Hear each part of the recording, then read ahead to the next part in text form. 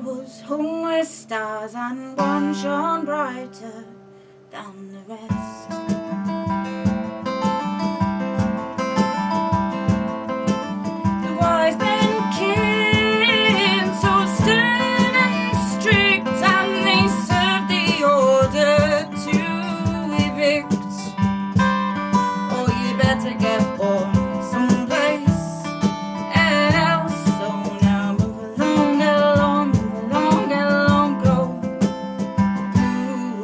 now shift.